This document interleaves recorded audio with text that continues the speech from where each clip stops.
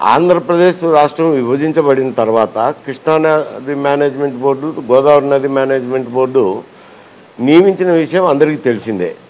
కానీ ఏదో ఒక రోజు యాజమాన్య బోర్డు పరి పరిధులను నిర్దేశించుతారు నోటిఫికేషన్ ఇస్తారనేది అందరికీ తెలిసింది సార్. అటువంటి సందర్భంలో ఎందుకంటే ఇవి నీళ్ళు వారికి ఉన్న స్వేచ్ఛను సౌలభ్యాన్ని ఉపయోగించి కేటాయించకపోతే చట్టబద్ధత కల్పించకపోతే ఈ నిరర్థ ఆస్తులుగా మిగిలిపోతాయి. ఈ మీకందరికి గుర్తుంటుంది ఒక మారు పట్టుసీమ మీద శాసనసభలో చర్చ జరిగే సమయంలో చంద్రబాబు నాయుడు గారు అప్పటి ముఖ్యమంత్రి గారు ఈ పట్టుసీమలో ద్వారా తరలించిన నీరు రాయలసీమకే కేటాయించాం రాయలసీమ ప్రాజెక్టుకే కేటాయిస్తామన్నారు.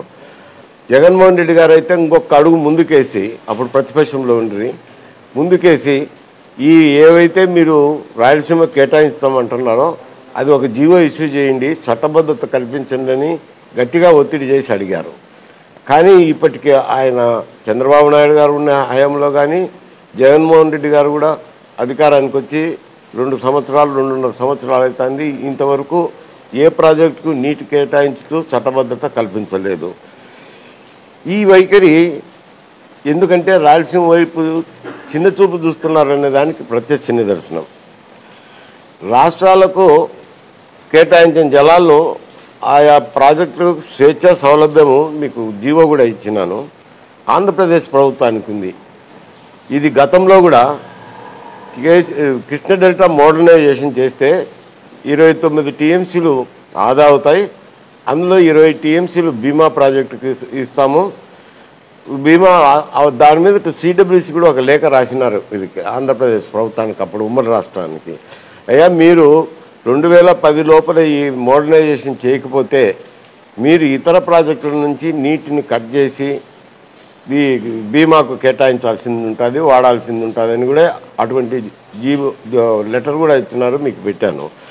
అదే కాదు ఈ ఇప్పుడు ఏమవుతుంది చింతలపూడి కానీ పట్టుసీమ ద్వారా కానీ ఈ దినం నీళ్ళు తరలించుతానేటప్పుడు అక్కడ నలభై ఐదు టీఎంసీలు ఇక్కడ ముప్పై ఐదు టీఎంసీలు వచ్చినప్పుడు కనీసం కొన్ని ప్రాజెక్టులకైనా ఇక్కడ కేటాయించుండొచ్చు. ఆ పని చేయలేనందువల్ల ఇప్పుడు దయనీయ పరిస్థితిలో ఉన్నాయి. ఆంధ్రప్రదేశ్ కర్ణాటక ముఖ్యమంత్రుల మధ్య డెబ్బై ఎనిమిదిలో ఒక అగ్రిమెంట్ కూడా జరిగింది. ఏమంటే కర్ణాటక మహారాష్ట్ర ప్రభుత్వాలు తెలంగాణలో ఉన్న మంజీరా ప్రాజెక్టుకి అయితేనేమి జురాల ప్రాజెక్టుకి అయితేనేమి శ్రీరామ్ సాగర్ ప్రాజెక్టుకి అయితేనేమి వాళ్ళు నిర్మాణానికి సహకరించేటట్టు అందుకుగాను పోలవరం రిజర్వాయర్ నిర్మాణం చేసినప్పుడు వన్ ఫిఫ్టీ ఎఫ్ఆర్ఎల్ దగ్గర ఉన్నప్పుడు ఎనభై టీఎంసీలు కృష్ణ డెల్టాకు బదిలీ చేస్తే అందులో నా నలభై ఐదు టీఎంసీలు ఆంధ్ర వాడుకోవచ్చు ముప్పై ఐదు టీఎంసీలు కర్ణాటక మహారాష్ట్రకు ఇవ్వాలని ఒక ఒప్పందం కుదిరింది. ఇలాంటి ఇంట్రెస్టింగ్ వీడియోస్ కోసం తప్పకుండా మా ఛానల్ని సబ్స్క్రైబ్ చేయండి.